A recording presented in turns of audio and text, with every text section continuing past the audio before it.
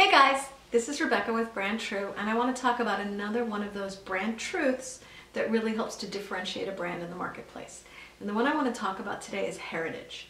So, heritage is one of those things like old money. If you don't have it, you can't have it, right? I mean, sometimes I see a business and it says established 2008, and I'm like, really?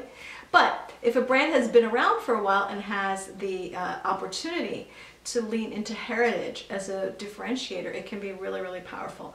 And one of my favorite examples of this is Jack Daniels, right? Heritage doesn't have to be old, fancy, um, exclusive luxury goods. It can also be just really, really, we understand who this is, understand where they came from, very authentically differentiating. And that's what the Jack Daniels brand is all about. If you think about what their packaging looks like, it's very, very clear um, the heritage of it, how long it's been around, um, the name of the founder is the name of the brand, right? There's a lot of storytelling elements there.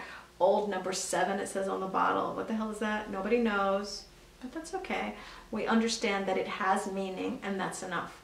So that gives the brand a lot of differentiation, a lot of authentic meaning that is a huge part of its success. Um, so I love that example. There are a million others. I'll make some videos with some of the others, but think about what you think about that example. Think about other brands that you feel like might be good examples and let me know in the comments. I love talking with you guys about these things.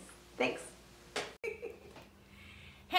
Enjoying these videos, I love sharing this content with you. Go over to brandtrue.com. There's more there. All the videos that I've shared so far, other articles, and you can learn more about us. We would love to be in touch. We would love to help you out. We love working with brands.